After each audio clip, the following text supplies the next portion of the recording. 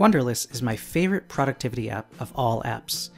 So I decided to create my own version of a to-do list, but it also has a Gantt chart, which is a big feature that people have been asking for on the Power Apps community forum.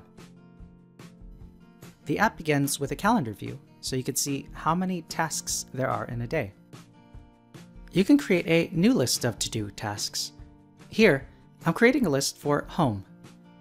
When I click inside, it's empty, but I can go ahead and add the first task, load laundry. I push enter, and it's automatically saved. Within that task, I could select a date, and I could break down the task into smaller tasks. When I'm doing laundry, I sort the light and the dark clothes.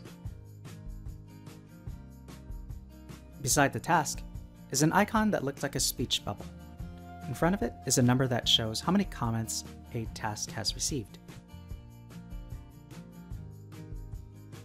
Comments allow your to-do list to be more lively, allows you to keep a conversation going, or you can collaborate on details without needing to send an email. The next feature is sharing. I'm using the Office 365 Users Connection to pull up a list of all my users and share it with them. I can click a subtask and complete it. I can do the same for the main task, and it disappears. If I'd like to see all of the completed tasks, I can click the eye icon.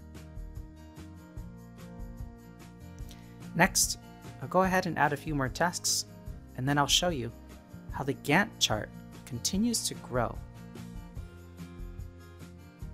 Here, I'm changing the date to another date, just one day away.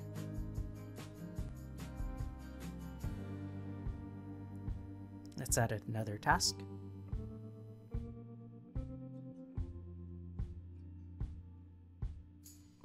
And let's push this one further into the future.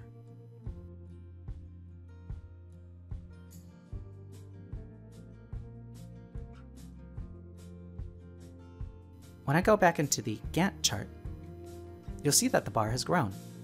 I look at the date. When I look at the calendar view, I'll see that my project elapses over one week. Thanks for watching. If you'd like to see more interesting Power Apps, please subscribe.